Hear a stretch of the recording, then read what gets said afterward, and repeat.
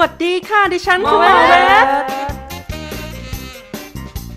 เชื่อว่าหลายๆคนก็คงมีปัญหานะคะ ก็คือการกระพริบตานะคะ คนที่ยังคงเป็นมือใหม่อยู่อาจจะกระพริบตาได้ยากใช่ไหมล่ะคะ แต่สิ่งที่หมอเวทวิจัยมานะคะ พบว่าทุกคนเนี่ยสามารถหัดกระพริบตาได้นะคะ โอ้ย เลถามว่าทำไมคนเราควรกระพริบตา เพราะว่าการกระพริบตาจะช่วยให้คนเราเนี่ยกระพริบตา มีคนจำนวนไม่น้อยเลยนะคะ ที่ไม่สามารถกระพริบตาได้ หลักการนี้ทางวิทยาศาสตร์เรียกว่า c r e s t a m b r i s m a p r e ขออีกรอบดิ c r e s t a m a n i k i s t a m a n i k i s t e r ซึ่งหมอเวทนะคะรีเสิร์ชเรื่องนี้อย่างจริงจังแล้วก็ซีเรียสมากๆเลยค่ะ พบว่า 1 วันเนี่ยคนเรามักจะกระพริบตาไม่ต่ำกว่า1ที่ ไม่เป็นไรนะคะ คนไข้ค่อยๆ หัดกระพริบตาค่ะ เทคนิคนี้หมอตั้งขึ้นมาชื่อว่าเทคนิค c r e s t e r เนี่ยมาเพื่อเริ่มจากการใช้นิ้วชี้และนิ้วโป้งนะคะถ่างตาไว้เพื่อบริหารกล้ามเนื้อรอบดวงตา ให้ดวงตาเนี่ยมีความเคยชินกับความมืดบ้าง อืมไหนลองทำดูสิ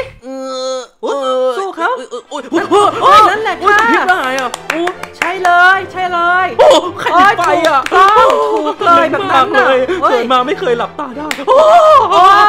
ตอนนี้คุณได้ผ่านหลักสูตรแล้วนะคะ ที่เราตั้งเป้าไว้คือให้คุณกระพริบตาอย่างน้อยหนึ่งที แต่คุณเล่นไป 3 เลยแล้วหมอก็ขอเป็นกำลังใจให้ทุกคนที่กำลังหัดกระพริบตาอยู่กระพริบได้ในสักทีนะคะ เพราะว่าคนเราเนี่ยเกิดมาก็ต้องกระพริบตาใช่ไหมเทคนิคการกระพริบตา d e s f i n i c a t a p i t s o m h o y ของหมอเนี่ย